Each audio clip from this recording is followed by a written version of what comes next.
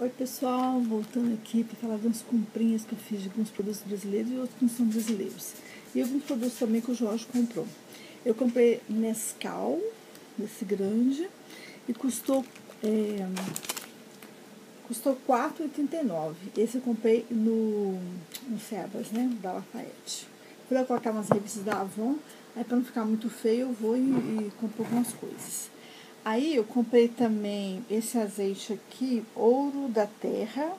É um azeite extra virgem, mas ele é de Portugal. Um azeite Ouro da Terra. Custou R$ 2,79 esse vidrinho de 250 ml. Extra virgem, adoro, amo, gente, eu amo azeite extra virgem da salada. Não gosto de ficar sem azeite, não. Eu amo de paixão. E eu comprei também tapioca. Essa tapioca aqui, eu vi um pessoal comentando dessa marca. Aquio, que chama. Essa, essa tapioca marca Aquio. Ela tem um, umas sugestões aqui de recheio. É uma tapioca fabricada e distribuída pela Aquio Produtos Alimentícios Limitada. Essa é lá de Guarulhos, São Paulo. Olha, eu achei ela bem fininha e parece que ela é bem especial. Eu fiz crepioca, eu, eu fiz uma crepioca outro dia recheada com peito de peru, cebola, tomate, orégano e queijo mussarela ralado. Nossa, eu amo, sabia, crepioca? Então, vou colocar pra ficar acumulando muito aqui. É, eu comprei ontem na padaria esses casadinhos de goiaba na padaria Bertel, que é a padaria brasileira. Custou só R$ 4,50. Muito gostoso. Tem bastante, eu ter comendo algumas. Eu vou dar uns para minha amiga. Eu comprei também essa farinha de mandioca aqui diferente. É uma farinha amarela fina. Ela vem nesse pote aqui. Eu achei super prática. Às vezes compra no saquinho. Aí tem que colocar no pote. Essa aqui já tá no pote, é mais prática. É, ela tá é, da marca Amafil. São 500 gramas de farinha. Aí tá escrito aqui em, em espanhol. Mas um produto brasileiro do Paraná. Cianorte. E aqui tá escrito indústria brasileira e tal, aqui, ó. Os dados da farinha. É, e aqui tá em caçava flor, tem inglês e espanhol aqui no rótulo aqui na frente. Aí não testei ainda não. Ontem eu fiz foi polenta, eu fiz polenta, fiz taioba, que o Jorge comprou taioba no Ceabras também, da Wilson. Aí eu fiz polenta, taioba. O Jorge tinha comprado aquele carneiro lá. Eu achei muito apimentado. Nem comi tudo não, muito grande. E eu comprei esse suco também, que eu achei bem gostosinho, esse suco de maçã orgânico. Lá no Ceabras também. Esse aqui é hum, americano. Esse aqui é daqui mesmo. Eu gostei, achei bem gostoso. Aquele é de Roslyn, Nova York. Ele é daqui mesmo. Aí eu achei bem gostoso. Eu, eu adoro o suquinho de maçã. Gosto muito. Tem, depende, né? Tem uns que são muito azedos. Mas quando eu vi assim orgânico, aí foi deve ser gostoso. E é mesmo, essa marca aqui, muito bom. É, só que veio esse aí foram três. Foram três. Três. É, veio três num pacotinho. Custou só R$1,89, olha. Veio três num pacotinho, só que sem gelar. Eu coloquei na geladeira. Já tomei um já, adorei. Amei de paixão. Comprei também Sazon Legumes do Brasil, que eu prefiro o, o Sazon do Brasil. Aqui tem um sazon aqui, mas é super esquisito, não é a mesma coisa, um sabor super estranho, tem muito coloral, outra hora tem muito açafrão. Aí eu comprei também esse suco aqui, um suco, esse chá aqui de capim cidreira, da marca Leão. Eu deu vontade de tomar um chazinho de capim cidreira, ainda não tomei ainda não, tá até fechadinho, tá vendo? Vamos ver se eu consigo tomar. Esse é o meu buluzinho ali da Avon, que vem um bolo com a xícara, sabe? Eu tô querendo fazer um chazinho. Porque quando eu morava no Brasil, na outra casa, minha mãe tinha um pé enorme de capim cidreira, sabe? Eu, eu gostoso o chá. E é bom pra cólica também, né? O chá. Comprei também esse caldo quinoa aqui de legumes. Deixa eu ver se esse aqui é do Brasil. Esse aqui não sei se é do Brasil. Acho que é do Brasil. Porque tem uns caldos quinó que eles vêm de, vêm de Portugal. Ah, esse aqui acho que é de Portugal, negócio de leve ao lume, é coisa portuguesa. O brasileiro não fala leve ao lume. Esse aqui é um caldo quinó, porém do, é de Portugal. É,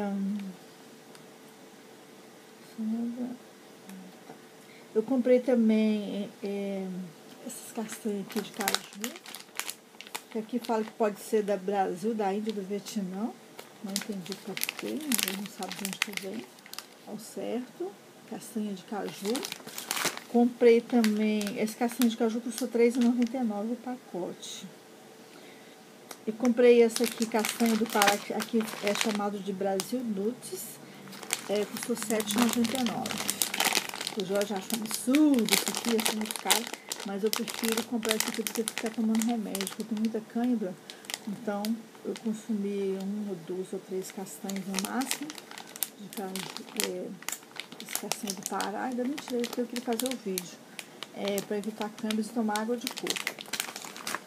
O Jorge comprou essa água de coco aqui também. É da Vital Coconut Oil. Deixa eu ver se essa aqui é, é do Brasil, assim, tá vendo?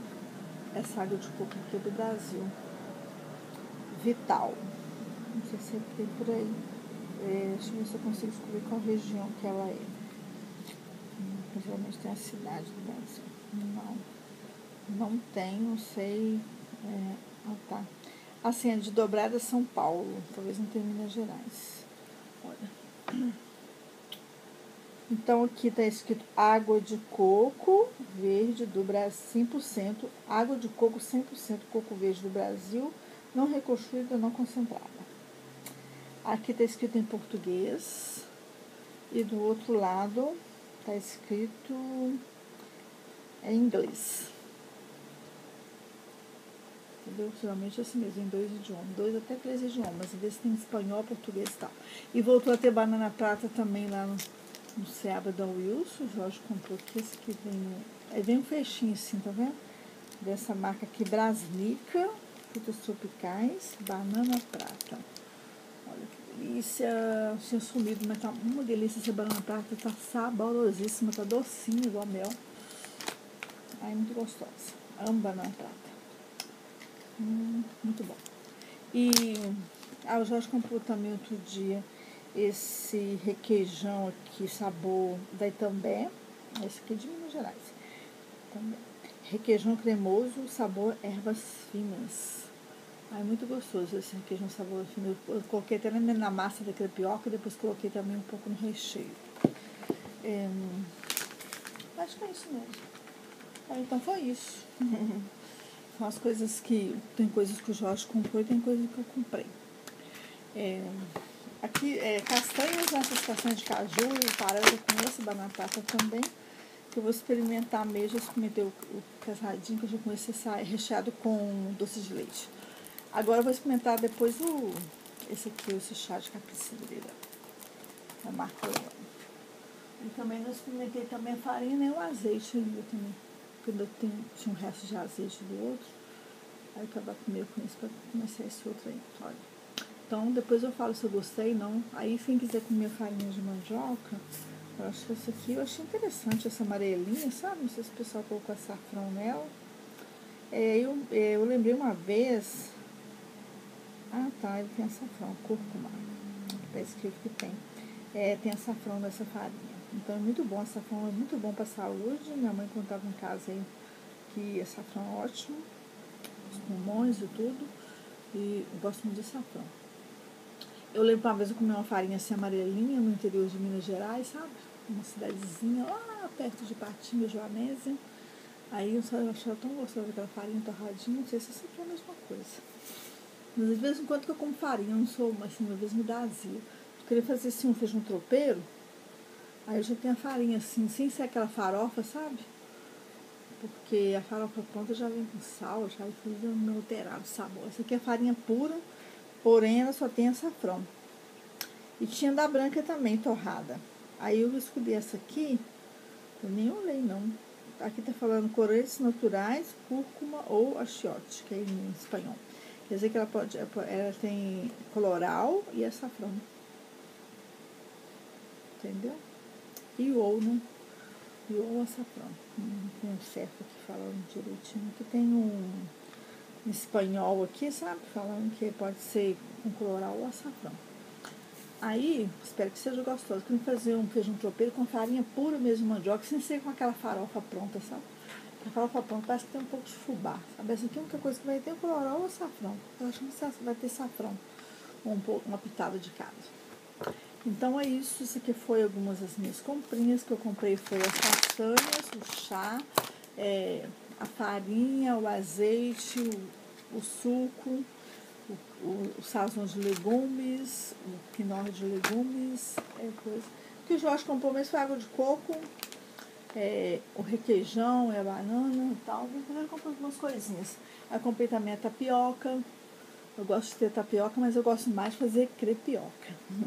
Aí eu amo crepioca, gente, é muito gostoso. Só gasto um ovo só, aqui em casa tem sempre o ovo.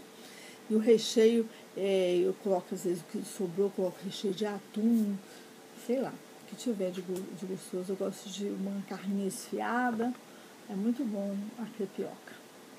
Então, esse aqui, se você quiser experimentar esse aqui, eu acho novidade, né? Eu achei super baratinho, já vem no potinho, bem prático do que ficar virando outro pote e tal. Aqui eu vou deixar sempre nesse potinho aqui que eu achei legal. Aí quem quiser experimentar essa farinha aqui, ó, a, a Mafio, tá? Dessa marca aqui, tem lá no Selva de Lafayette.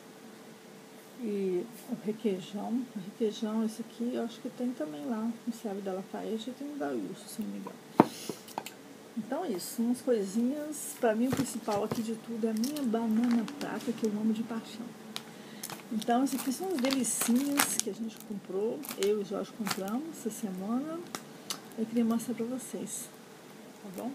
É pra vocês verem que aqui a gente tá, alimenta direitinho, sabe? Eu gosto de uma alimentação assim, bem básica, aquela alimentação que eu já tô acostumada no Brasil, sabe? Sem muito negócio diet, fit, essas coisas, eu não curto muito não. Eu gosto mais assim, sou coisa mais da terra mesmo, coisa alimentação mais de roça, comida mais forte. então tá. Ok, beijos, bye bye.